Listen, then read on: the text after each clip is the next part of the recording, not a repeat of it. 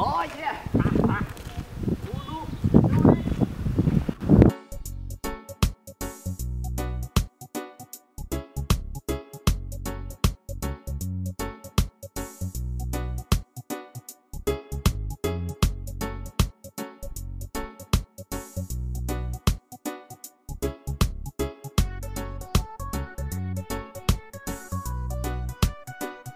Bizonga chama ikane boy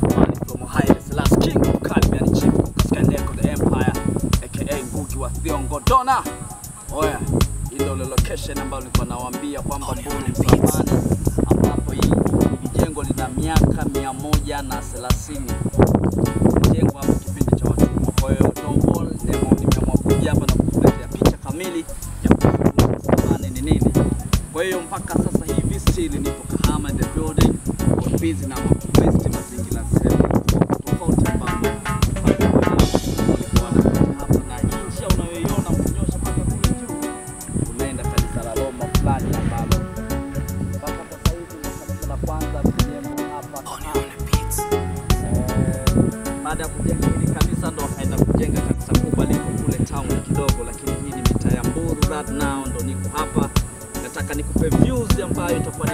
kamili kabisa in the building baby.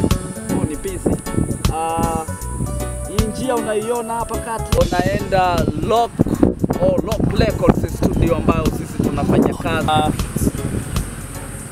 kama hivyo yani, kiufupi introduction ya Mbulu Msalabani, na kile kingine ambacho nime- nimejifunza nime- kutoka kwa mwana mwana filosofa mmoja anaitwa Dennis. Anakaa pale anasema kwamba ni kenge. Kwa hiyo inaonekana miaka ya zamani sana mitaa hii kulikuwa na kenge wengi sana, ndio maana wakaita Mbulu Msarabani. Hiyo ndio historia ya Mbulu Msarabani. Lad now body Biz nimeamua kukusogezea, au sio baba? Hii ni documentary ambayo naiandaa soon as possible, tutakuwa tunakutana nayo, tunaiona YouTube, mambo yanakuwa mazuri kama hivyo. Oh yeah, hizi Bizonga producer mwenyewe nimeamua kuingia kwenye harakati kama hizi pia kwa ajili ya kukusogezea vitu ambavyo huvijui, pia upate kuvijua na kujifunza mambo mengi, au sio? Ah, hii location nimechill nini, ni sehemu fulani amazing sana, yani huwezi kufika bila kupelekwa, huwezi believe nimeletwa na mwana mmoja ambaye anajua sehemu ambazo tukitembelea lazima utapata hewa nzuri safi kabisa, na nimekuja hapa pia kuendelea kutoa historia ya Mbulu Msalabani. Kama nilivyosema, Mbulu Msalabani ah, ili jina lina miaka mia moja na thelathini mpaka sasa. Na neno mbulu lilitokaje? Ujue lilitoka wapi? Wanakwambia hii sehemu kabla ya makazi huku palikuwa ni mashamba, lakini haya mashamba yalikuwa na na kenge, yani mbulu kwa Kisukuma ni kenge, au sio? Uh, kwa neno mbulu lilitokana na kenge au sio? Kwa hiyo hii sehemu kulikuwa na kenge wengi sana, wengi sana yani, ndio ilikuwa baada sasa yao kenge watu wakasema ni mbulu. Kwa hiyo mbulu msalabani ilitokana na neno kenge, lakini kama nilivyoonyesha pia kuna ule msalaba ambao nimeonesha pale, au ulijengwa miaka 130 iliyopita, na kuna kale kama msalaba pale juu. Kana miaka 130 ni kambao wazee. Ni maajabu tu ya Mungu, lakini hiyo ni, ni symbols au sign ya kuonesha kwamba kwa juu kidogo kulikuwa na kanisa, kuna kanisa la Roma ni kubwa ambalo liko pale, na ikibidi pia nitaenda kuonesha hilo kanisa ni aje, ni vipi, kila kitu kitakuwa kiko sawa. Shout out for everybody. Oh yeah.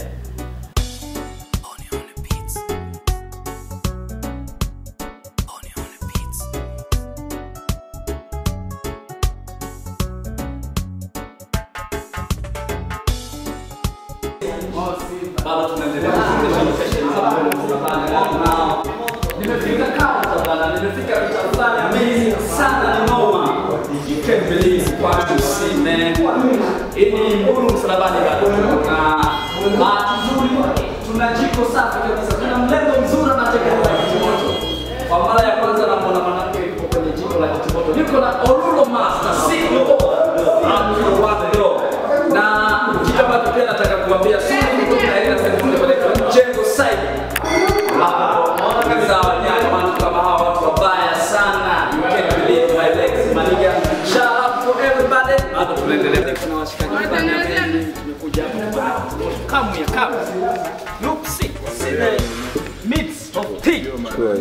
hiyo ni kiti ni kitimoto jamani wajuba Nataka tukafanya vitu fulani roasting.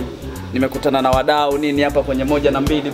Pia uzuri jikoni kuna mama na mama ambaye anasimamia show vizuri.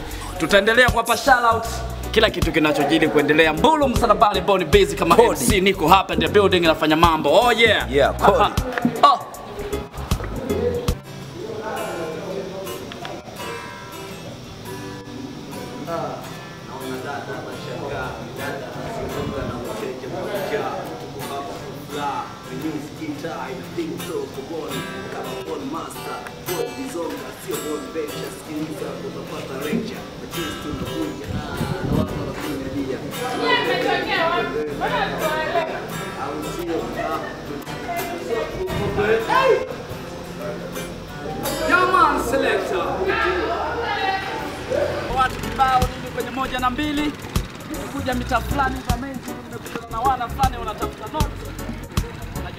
News zinaanze kuachana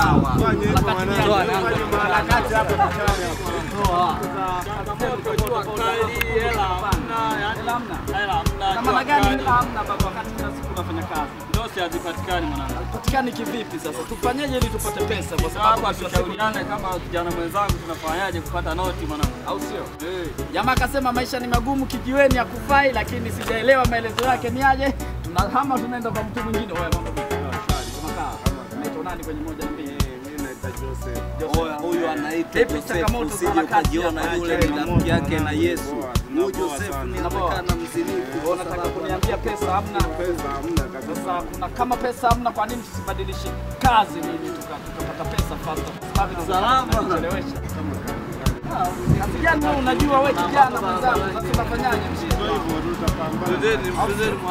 Oya, niko na Ululo Master kasema kwamba tunaenda kuchukua nyota oh yeah.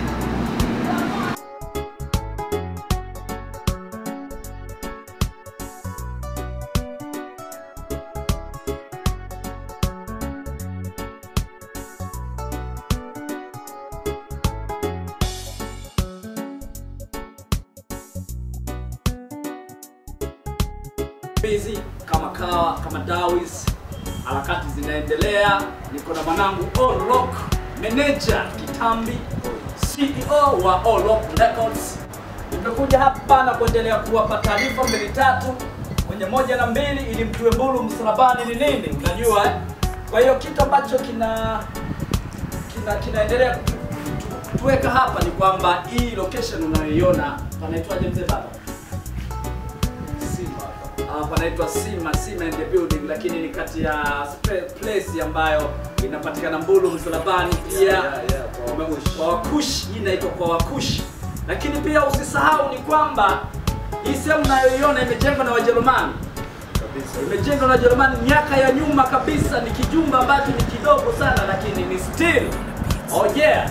Uh, bila kusahau kwamba shout out ziende kwa director ambaye anatuchukua hii kitu nini kwenye moja na mbele.